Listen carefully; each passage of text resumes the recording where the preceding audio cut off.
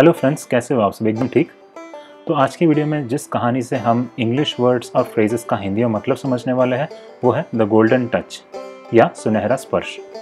ये एक moral story है या ये आपको एक पार्ट देती है? तो पहले हम स्टोरी को पढ़ेंगे और उसका हिंदी में मतलब समझेंगे। उसके बाद उसके अंदर के आने वाले जो इंग्लिश के वर्ड्स और फ्रेजेस हैं, उसका अलग से हम हिंदी में मतलब समझेंगे। तो इससे आपको उसका प्रैक्टिकल यूज़ पता चलेगा। तो आइए शुरू करते हैं स्टोरी को समझना।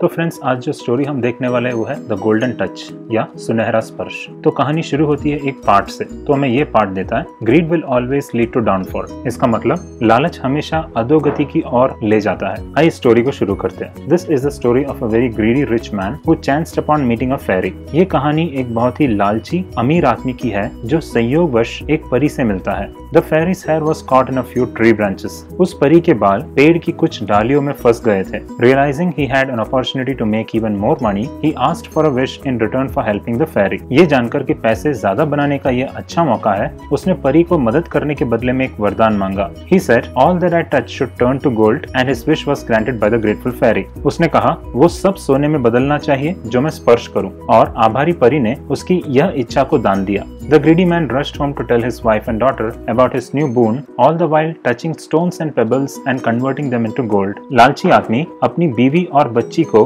अपने नए वरदान के बारे में बताने के लिए जल्दी से घर दौड़ा और वो सारा वक्त पत्थर और कंकड़ को छूकर सोने में बदल रहा था once he got home his daughter rushed to greet him एक बार वो घर पहुँचा, उसकी बेटी दौड़ते हुए उसको प्रणाम करने गई। As soon as he bent down to scoop her up in his a gold statue जैसे ही वो अपने हाथों में उसे झट से उठाने के लिए झुका, वो सोने की मूर्ति में बदल गई। He realised his folly and spend the rest of his days searching for the fairy to take away his wish उसे अपने मूर्खता का एहसास हुआ और अपनी बाकी ज़िंदगी परी को वरदान वापस लेने के लिए ढूंढता रहा। Moral of the story greed will always lead to downfall कहानी का पार्ट यह है, लालच हमेशा अधोगति की ओर ले जाता है। तो फ्रेंड्स ये तो था स्टोरी द गोल्डन टच या सुनहरा स्पर्श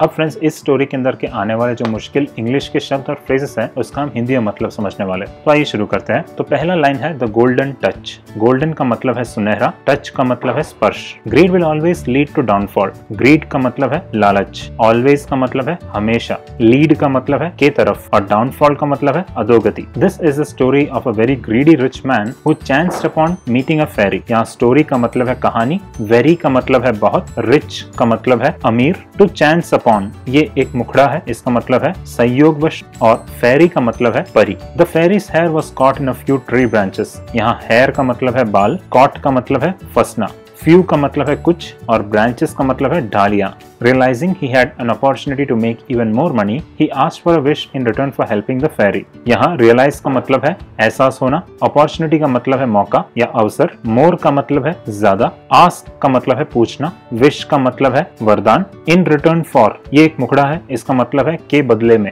हेल्प का मतलब है मदद करना he said all that I touch should turn to gold and his wish was granted by the grateful fairy यहाँ टर्न का मतलब है बदलना ग्रैंड ग्रांट का मतलब है देना और ग्रेटफुल का मतलब है आभारी the greedy man rushed home to tell his wife and daughter about his new boon all the while touching stone and pebbles and converting them into gold यहाँ रश का मतलब है जल्दी अबाउट का मतलब है के बारे में बोन का मतलब है वरदान ऑल द वाइल ये एक मुखड़ा है इसका मतलब है सारा समय या सारा वक्त स्टोन का मतलब है पत्थर पेबल का मतलब है कंकट कन्वर्ट का मतलब है बदलना और इंटू का मतलब है मे once he got home his daughter rushed to greet him यहाँ वंस का मतलब है एक बार got होम का मतलब है घर पहुँचना, ग्रीट का मतलब है नमस्कार करना। As soon as he bent down to scoop her up in his arms she turn into a gold statue यहाँ एज सुन एज ये एक मुखड़ा है इसका मतलब है जैसे ही। बेंट डाउन इसका मतलब है झुकना। टू स्कूप ये एक मुखड़ा है इसका मतलब है झट से उठाना। स्टैच्यू स्टैच्यू का मतलब है मूर्ति। He realise his folly and spend the rest of his days searching for the fairy to take away his wish यहाँ फॉली का मतलब है मूर्खता। स्पेंट का मतलब है बिताना। और सर्च का मतलब है ढूंढना। तो फ्रेंड्स ये हुआ कहानी के अंदर आने वाले मुश्किल शब्द और मुखड़ों का हिंदी में मतलब। अब आइए थोड़ा एक्सरसाइज कर लेते हैं। इससे आपको पता चलेगा कि आपको कितने इंग्लिश के वर्ड्स याद रहे हैं। अब मैं जो क्वेश्चन पूछूँगा, वो इस स्टोरी को आधार करके पूछूँगा। तो अगर मुझे इंग्लिश में बोलना है सुनहरा तो मैं कौन सा शब्द इस्तेमाल करूँगा? तो वो है गोल्डन अगर मुझे बोलना है स्पर्श तो इंग्लिश में कौन सा वर्ड होगा?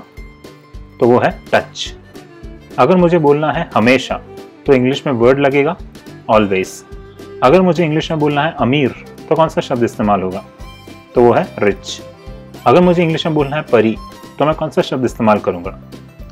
तो वो है फेरी अगर मुझे मुखड़ा इस्तेमाल करना है पेड़ की ढाली तो इंग्लिश में उसका फ्रेज लगेगा ब्रांचेस ऑफ़ ट्री अगर मुझे इंग्लिश में बोलना है पूछना तो कौन सा शब्द लगेगा? तो वो है आस्क अगर मुझे बोलना है आभारी तो इंग्लिश में कौन सा शब्द लगेगा?